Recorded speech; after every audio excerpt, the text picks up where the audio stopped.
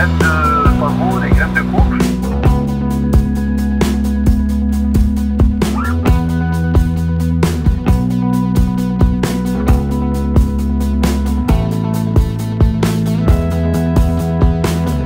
C'est tout ce que j'aime